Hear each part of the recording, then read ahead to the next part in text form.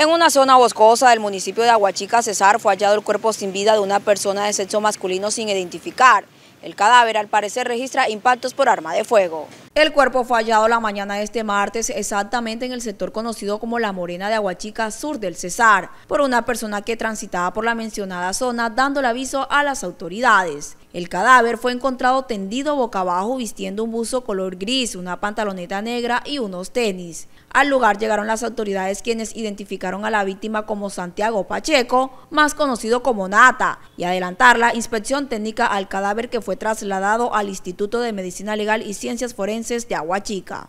En el grupo empresarial Carpio, conformado por Carpio Firma de Abogados y Carpio Bienes Raíces, Contamos con un equipo capacitado para brindar los más eficientes servicios de asesorías, consultoría, interventoría en el área legal, así como el área de la administración de inmuebles.